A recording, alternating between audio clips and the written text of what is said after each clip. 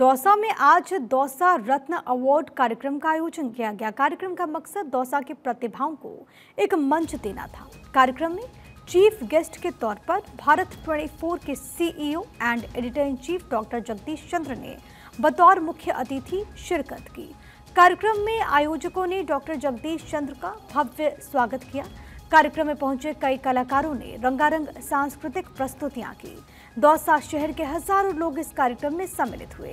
कार्यक्रम में शामिल हुए डॉक्टर जगदीश चंद्र ने शहीदों के परिवारों का सम्मान किया और कार्यक्रम की काफ़ी तारीफ़ की। कार्यक्रम को संबोधित करते हुए डॉक्टर जगदीश चंद्र ने कहा कि दौसा के लोगों की इतनी उपस्थिति से इस कार्यक्रम को चार चाँद लग गए। वहीं उन्होंने ये भी कहा कि फ़र्स्ट इंडिया चैनल और भारत 24 भी ऐसा प्रयास लगातार करता रहा है कि समाज के हर वर्ग में छिपी प्रतिभाओं को अपना हुनर दिखाने का मौका मिले। इसके लिए कंपनी की ओर से ओटीटी प्लेटफॉर्म लॉन्च किया गया। डॉक्टर जगदीश चंद्र ने कहा कि ऐसे प्रयास हर ज़िले में होने चाहिए।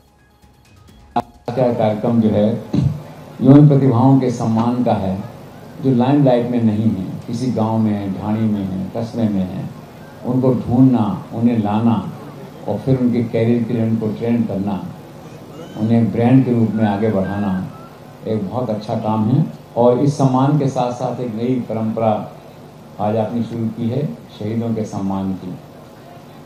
बहुत अच्छी परंपरा है ये।